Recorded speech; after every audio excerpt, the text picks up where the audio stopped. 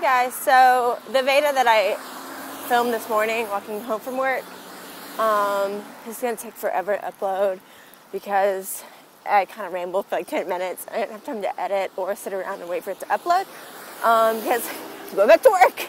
Um, but I figured I would film just maybe a short little something to give you for Veda today because I don't know, it's just beautiful outside and you know, vlogging on the way to work, I'm at least a little more awake and with it. Uh, yeah.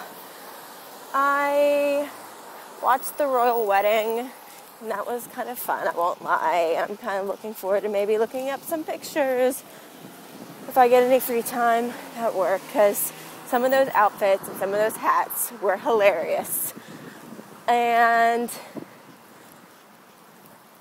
yeah, I think it's crazy how you can go from like disaster weather to just gorgeous and amazing and know that our God is in charge of and in control of both of them. And that's what that's what to me is what like makes God feel so much more powerful.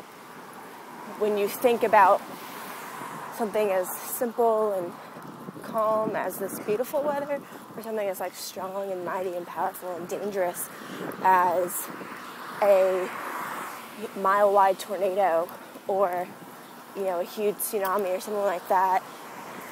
It just it's so humbling because we have no power no control there's nothing that we can do against a mile wide of wind like it just makes you realize how frail how weak how minor humanity really is and compared with the forces of the world and of the universe. And then to know that our God can quiet that with one word is just it's like unfathomable to me. So yeah, and it's like awe inspiring. I say like a lot, you guys. I'm sorry. I just notice it more today, but I know I do it all the time. Dad. So, yeah, when I lived in France, there's this thing um, you would say, "Oh, c'est terrible," um, like it's terrible, which was slang for like the closest would be maybe like wicked cool.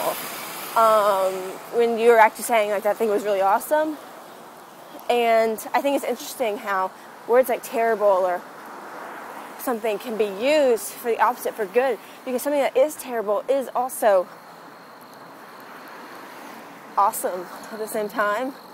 So I like to use awesome a lot when I'm thinking of something being awe inspiring because that to me should be the root of what awesome really is because it has the word awe in it. But anyway, uh, that's probably long enough for my little brief fill in vlog. So there you go. Bye.